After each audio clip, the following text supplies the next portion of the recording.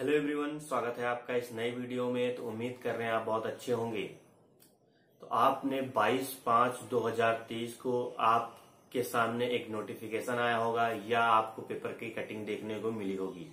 UP TET 2023 का notification आपको देखने को मिला होगा। पेपर आपको बताया गया था कि जून जुलाई टू अगस्त कराया जाएगा जैसे सीटेट का नोटिफिकेशन आया था। लेकिन उसके थोड़े देर, देर के बाद ही वो नोटिफिकेशन अपनी वेबसाइट से हटा लिया गया। इस मामले पर सीएम योगी ने क्या बयान दिया, इसके ऊपर हम लोग चर्चा करेंगे।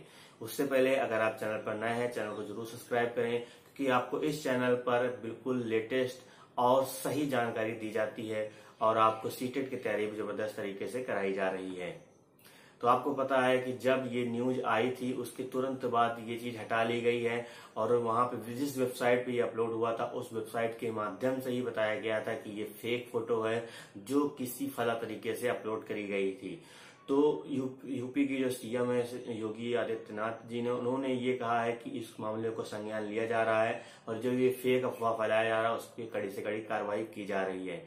अब ये सही है, ये गलत है, इस पर तो अब जाँच होगी, तभी पता चल पाएगा कि मामला क्या है। लेकिन आपकी राय क्या है कमेंट में ज़रूर बताइएगा कि आपको बिना सुपर टेट की कोई वैकेंसी दिए हुए और आपको यूपी टेट फिर से कराया जा रहा है।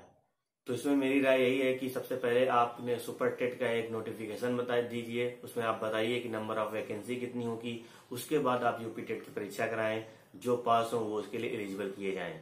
इतनी चीज़ ज़रूरी है क्योंकि तभी थोड़ा सा फेयर दिखता है। अदरवाइज़ ये सब यही समझा जाता है कि आप अपना राजस्व कंप्लीट कर रहे हैं, यानी कि उसको भर रहे हैं। क्योंकि आपको पता है कि जब यूपी टेट कराया जाता है तो कम से कम तीस लाख लोग फॉर्म भरते हैं।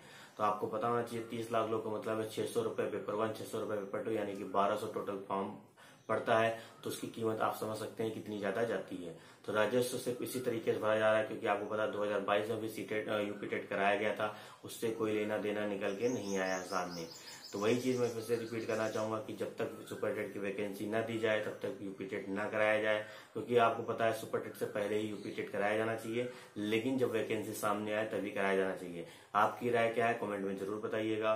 तब तक के लिए धन्यवाद, मिलते हैं नेक्स्ट वीडियो में।